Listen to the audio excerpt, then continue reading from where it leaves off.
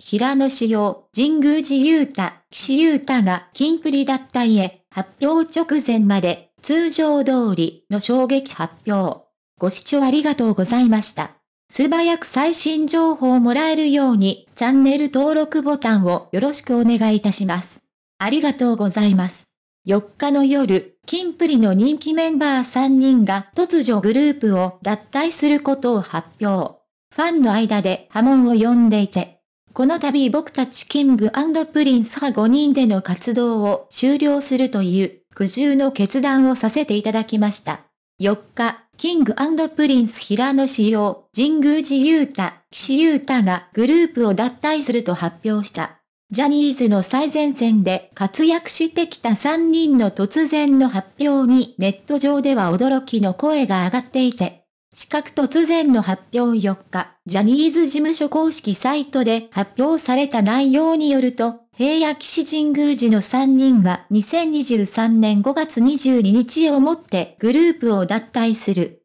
平野と神宮寺は同日に、騎士は23年秋にジャニーズ事務所も退場するという。金プリは来年23日以降、長瀬角と高橋山の2人で活動を続けていく。脱退に至った経緯としては、昨年より今後の活動についてより具体的に話し合う時間が増えました、とのこと。その後、大切にしていることは同じでも、海外での活動をはじめとして、それぞれの目指したい方向が異なることも分かりました、と別々の道に進む決断に至ったとしている。四角ジャニーズでも王道アイドル、キンプリは2018年にデビュー。メンバーは平野、長瀬、高橋、岸、神宮寺の5人。全員が端正なルックスで、ジャニーズの中でも王道アイドルとして絶大な人気を誇る。グループでの活動に加えて、個々の活動も順調だった。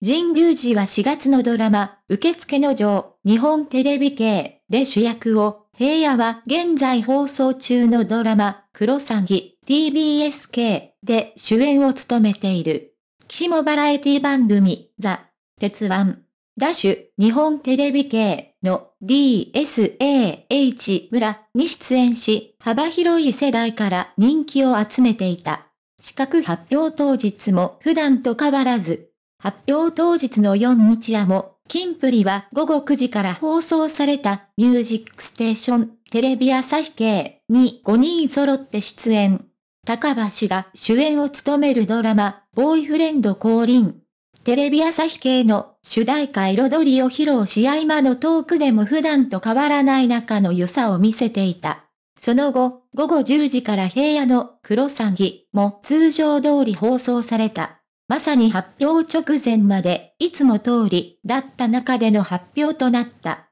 四角滝沢秀明が退社したばかりジャニーズ事務所では、1日に滝沢秀明がジャニーズ事務所の副社長及び子会社、ジャニーズアイランドの社長を退任し、退社することを発表したばかり。そんな中、ここ数年グループでも個人でも目覚ましい活躍を見せてきたキンプリの脱退退場が明らかになった。突然の発表はファンだけでなく、業界内でも波紋を広げそうだ。取材文、シラビーハングシーアイルジュ斎藤総人。平野志陽さんプロフィール1997年1月29日生まれ、愛知県出身。圧倒的なセンスのダンススキルや歌声を持つ一方、チャーミングな発言とのギャップで多くのファンを魅了する。ご視聴ありがとうございました。